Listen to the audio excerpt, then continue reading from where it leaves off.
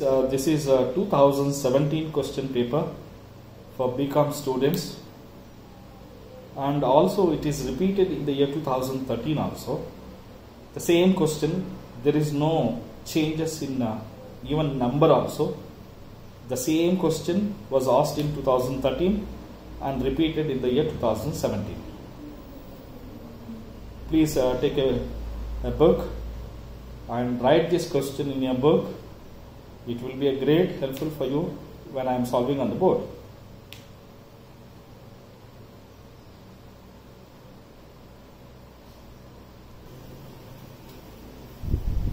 Okay guys, let us see 2017 question paper. Quickly we'll read it.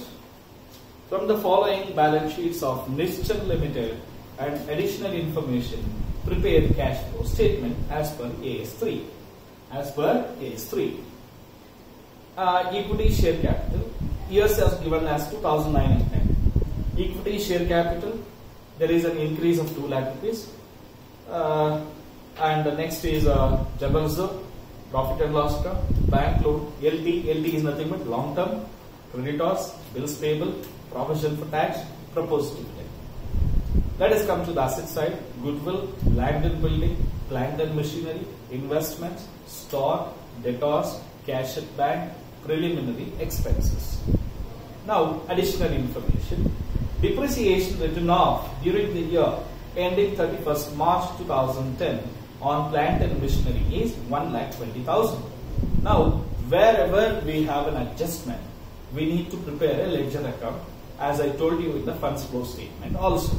So, now let us prepare an account called plant and machinery account.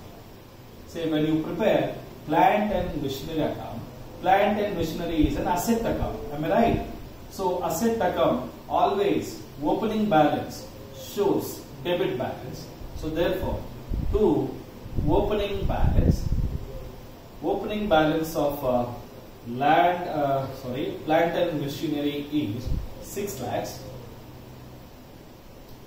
and closing balance is 8 lakhs say you can easily make out the difference and what is that change has happened. See, there is an increase in the value of plant and machinery. Definitely, there would be some purchases in the plant and machinery. Before purchase, some adjustments is happened. What is that? Depreciation is 1 lakh 20. What is saying? Now, by adjusted profit and loss depreciation is 1 lakh 20,000 rupees. This we have adjusted. Once if you have taken your depreciation as 1 lakh 20, please uh, read is there any more adjustment related to plant and machinery. See now, there is no any more adjustments. Now what I am trying to do is, I will check the totals of the account 920, 920 and there is 3 lakh 20,000 rupees of difference amount. This difference amount I write as to bank account as newly purchase of plant and machinery. Okay. So there is a purchase of plant and machinery of worth of 3 lakh 20,000. When you purchase plant and machinery, definitely you have to show it in the minus value of 3 lakh 20,000 rupees. Because I told you, any fixed assets of land and building, plant and machinery, furniture, fixtures, all these are all fixed assets. If you purchase, we'll show it in the finance investing activity in the minus value. If you sell any fixed assets, we'll show it in the plus value here. Am I right? Now, one more is that depreciation. What is this? Depreciation on plant and machinery on plant and machinery 1 lakh 20,000 rupees we have to take it in non-cash operating expenses. Guys, so plant and machinery is over. Adjustment number one is. Second adjustment is very very important. Equity shares were issued against acquisition of assets of another company. Means this company, Nischal company is purchased the assets of another company, business of another company they have issued share capital. If you look at equity share capital, there is an increase of 13 lakhs to 15 lakhs. There is an increase from 13 lakhs to 15 lakhs. That means 2 lakh rupees they have issued. To whom they have issued? They have issued to the another company. From whom this company is buying the assets. What are the assets they have purchased is the assets consider, consisted of land and building worth of 1 lakh 50, stock of worth of 50,000.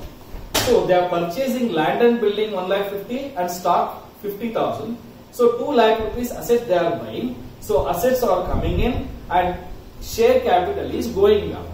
Share capital is going up. Now in that 2 lakh rupees issue of share capital, what is coming in for us is 1 lakh 50 worth of land and building is coming. Now I will prepare one more account, land and building account because here there is an adjustment uh, purchase of land and building. Am I correct? Yes. Now since land and building is also an asset, opening balance of land and building is uh, 7 lakh 50,000 and closing balance of land and building is 10 lakhs. It is clearly says there is an increase of 2 lakh 50,000 rupees of land and building. That means we might have purchased 2 lakh 50,000 rupees of new land and building. In that 2 lakh 50,000 rupees, 1 lakh 50,000 rupees of land and building we have purchased by issue of shares. So that means we have purchased by issue of share capital purchases. How much we purchased by issue of share capital? 1 lakh 50,000. It is given in the adjustment. And there is no more adjustments for land and building. So therefore, now I will write it as 10 lakhs here and uh, 10 lakhs here and remaining 1 lakh rupees I purchase land and building by paying cash on a bank. All of you got it? So this is purchases balancing figure. That means the company purchased 2 lakh 50,000 worth of land and building for which company issued 1 lakh 50,000 rupees of share capital and 1 lakh rupees of cash. Now share capital which is already included in the equity share capital in the liability side. What about this 1 lakh rupees? So this 1 lakh rupees when you buy, definitely your cash is going out. So therefore, land and building purchased is 1 lakh rupees. I will write it as a minus value here. That is done with this. Sir, what about the 2 lakhs we have issued as a share capital? For in that 1 lakh 50 we got land and building. What about the remaining 50,000 rupees of stock which we have purchased? That we need to adjust. Right? Stock is nothing but what? Almost all cash, equivalent to cash. So therefore, issue of equity share for stock, I will write it as for stock is 50,000 rupees. It is issue means coming in. So I will write as plus 50,000. Guys, please don't forget this write immediately at this point itself so that that adjustment will get complete. Now we are done with the second adjustment. Third adjustment, a dividend of rupees 13,500 was received during. Guys, very, very careful. Dividend was received. Received is an income. Received is an income. Please don't forget that. See, always if dividend received given in the adjustment, dividend received is a non-operating income. Non-operating income. So since I have not written that point, dividend, okay, received is an income. How much it is? 13,500 rupees. Okay guys? And if you write only here, it is not sufficient. When do you receive the dividend? Tell me. When you invest shares of another company, when you invest shares of another company, when you invest shares on another company, you will receive. Am I right? So therefore, what I try to do here is, I will write it here, dividend received or else I will write here dividend received as it is received, I will write it as plus value. Okay, as a plus value. Cash is coming into the business through by investing activity is coming. Some people will take it in the financing.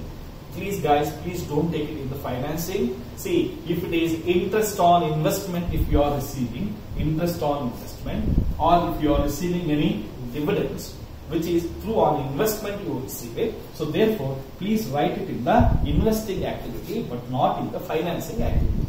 See, always adjustments will appear in two sides, two accounts. One is in non-operating income, the other one is in investing activity. We are done with the third adjustment. Now let us go with the fourth adjustment. What it says? Provision for taxation. Proposed dividend shall be treated as a non-current liability. Non-current liability. It is not a current liability. That means it is not a current liability. What it means? It means it will not come in the working capital. It is. It will not come in the working. That's where it will come, sir. Where it will come? We have to prepare account for provision for tax and proposed dividend. So now I'll try to prepare provision for tax account. See provision for tax account. Where do you find in this account in the balance sheet?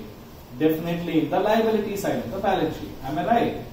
So if it is a liability side of the balance sheet, always opening balance will be credit side. Provision for taxation is 45,000 and closing balance of provision for taxation is 60,000. Okay, 45 and 60,000. Now, what we have to do it here is, it's a very simple account. Opening balance of tax which you kept it for payment of taxes will be paid in this year. So, to bank account as tax paid 45,000 and this becomes 1 lakh 5000 1 lakh 5000 and 60000 rupees. The same 60000 I'll put it here. I'll show it as adjusted profit and loss account. This is current year provision made current year provision made as a balancing figure now whatever the current year provision for tax made during the year I will write it here. And whatever the tax paid here, I will write it here as a minus 45,000. So there is the adjustment here. One more is that. What is that?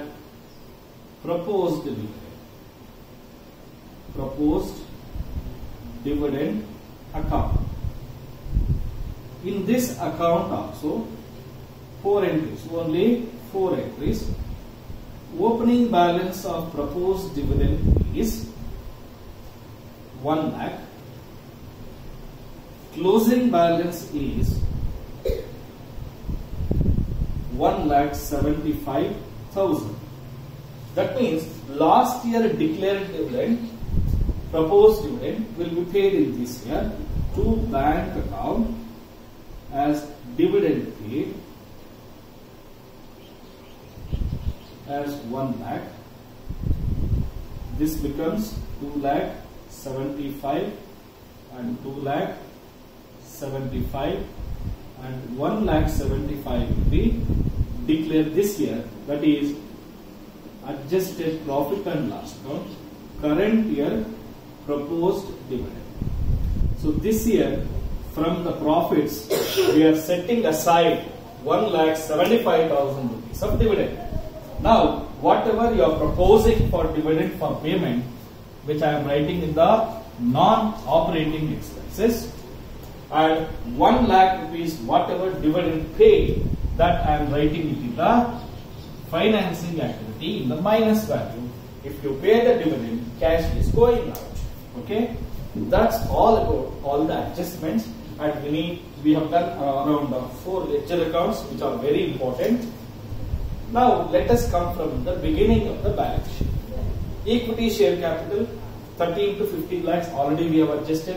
1 lakh 50 asset is purchased land and building and 50,000 rupees of stock we have purchased that we have adjusted. General reserve is increased from 2 lakh to 2 lakh 50 means 50,000 is increased. That means we have transferred to general reserve of 50,000 rupees. Okay? and profit and loss account is 1 lakh 20 and 1 lakh 80. There is an increase of 60,000 rupees of profit. That means that is called as a net profit during the year. Say the net profit in the year 2009 was 1 lakh 20 but it becomes 1 lakh 80,000 rupees. That means there is an increase in the profits of 60,000 rupees in the current year. That net profit has to be taken here. Next is bank loan long term. See bank loan is 3 lakh rupees in the beginning. At the end of the year it becomes 2 lakh rupees. That means there is a decrease in the loan, long term loan. That means we have repaid. So repayment of bank loan. When you repay the bank loan, definitely it will be the minus value. Creditors is a current liability. It is increased to 60,000 rupees. Increased by 60,000. If there is an increase in current liability, increase in current liability leads to decrease in current assets. So therefore, creditors worth of 60,000 rupees. Bills payable is decreased. So decrease in current liability leads to increase in working capital. Increase in working capital.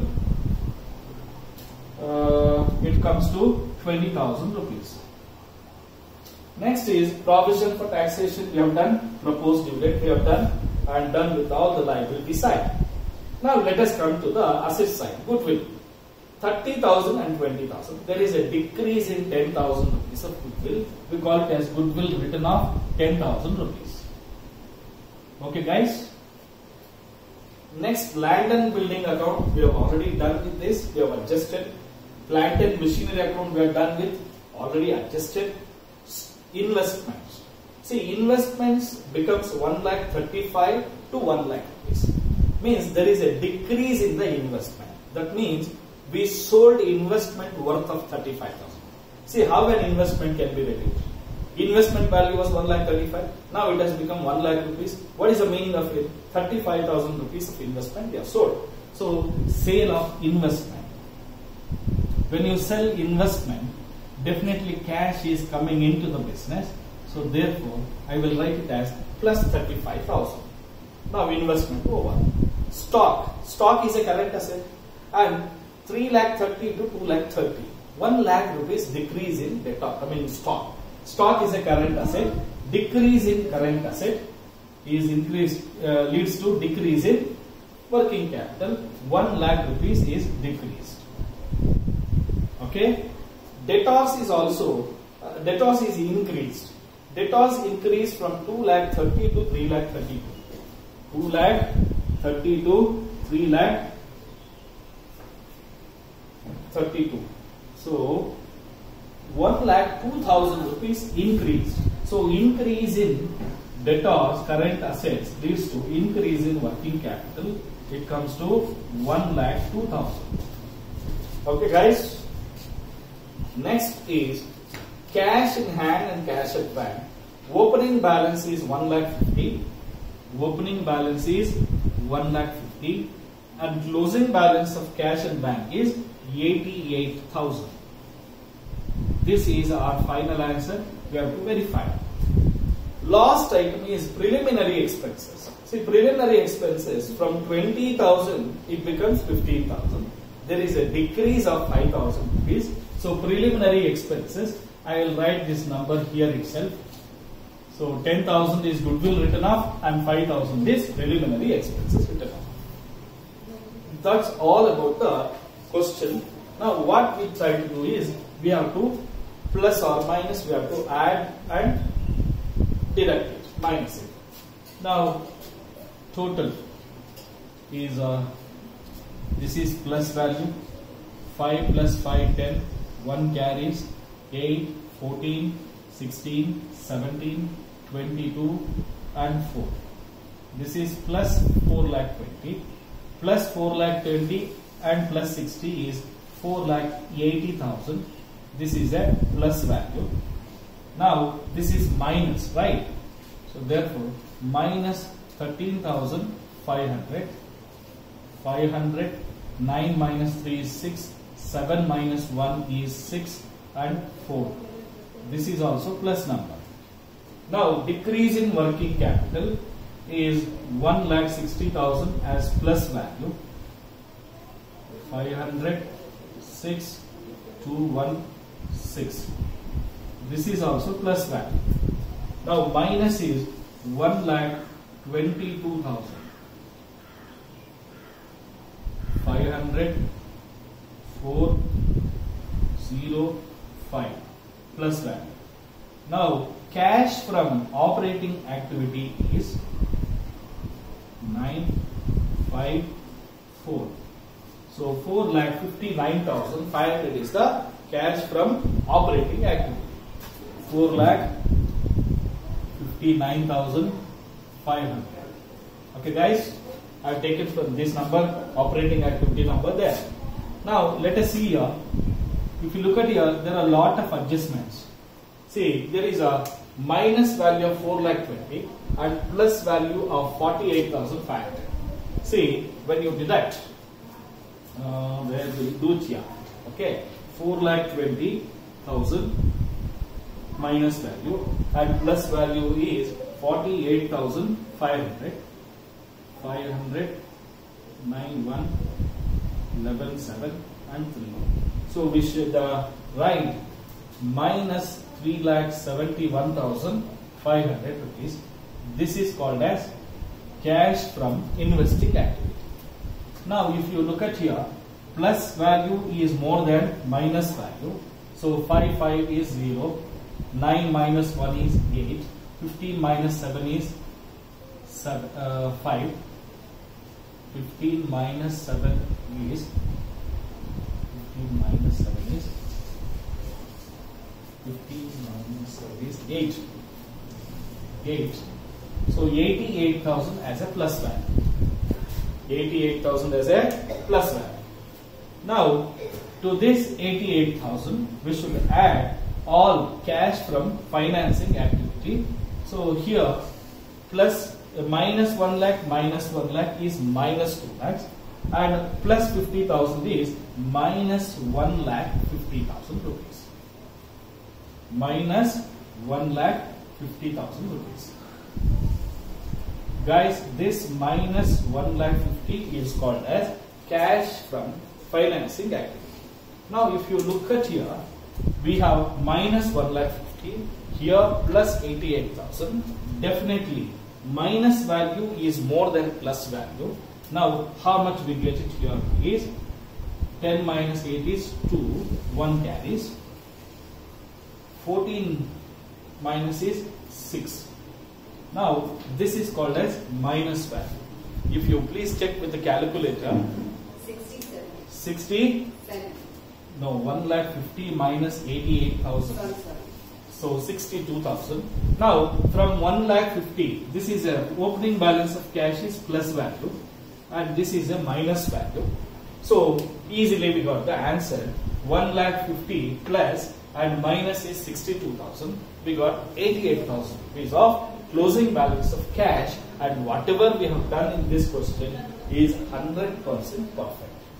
Guys, this is you are thinking that is a huge problem, right?